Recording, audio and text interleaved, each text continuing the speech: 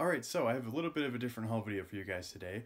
I recently went to Canadian Tire, which is a hardware store here in Canada, and I got a couple things. So the main thing I went for were a bunch of plants and things for my garden, so growing vegetables and fruits, that kind of stuff.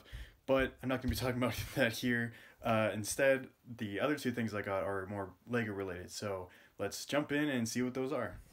So the first thing that I got was this table. So this is exactly, or should be exactly the same as these tables, which I got from Amazon. So this is my third table now, and I'm to be putting it somewhere in this room. And I'm going to be showing where I'll put this in a update, or an updated room tour video. Uh, and then I got another thing, which I will also show where I put it in the update in the, the room tour thing, but we got another Mastercraft tool storage uh, thing and I actually have two of these, so I have two of them over here. And the one I got is that one, which has the, the bigger drawers, which you can see at the bottom here.